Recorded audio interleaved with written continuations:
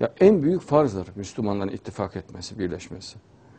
Sen ittifak eder birleşirsen İsrail'deki devlet ben en büyük gücüm hadi gücün yetiyorsa gel bana karşı koy demez. Ama zaten böyle bir birlik de öyle bir kabadayılık yapmaz yani. Türk İslam Birliği oluştuğunda Allah başına Mehdi'yi getirecektir. Yoksa yani sadece ırki bir düşünceyle mesela Türk Birliği oluşması, Türk ırkının üstünlüğü, genetik üstünlüğü üstüne kurulu, e, faşist mantığı savunan bir Türkçü politika Allah tarafından mahvedilir. Allah müsaade etmez ona ve hiçbir zaman içinde müsaade etmez, etmez de.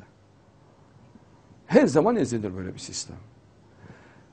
E, Müslüman e, ırkçılığı anlamında e, Müslüman topluluğu adına faşist bir düşünceye de Allah hiçbir şekilde müsaade etmez. Etmedi ve her zaman ezdi Allah kafalarını. Perişan etti. Faşist bir İslam birliğine de, faşist bir Türk birliğine de Allah müsaade etmez. Neye müsaade ediyor Cenab-ı Allah? Kur'an ahlakına dayalı, Rahmani, Allah'ın Rahman ve Rahim isminin tecellisi olan bir Türk İslam birliğine Allah müsaade eder.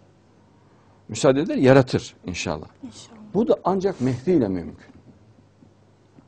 Bakın ilacı budur. Bunu anlamazlıktan geldikleri müddetçe bu bela kesilmez söylüyor. Ya mümkün değil.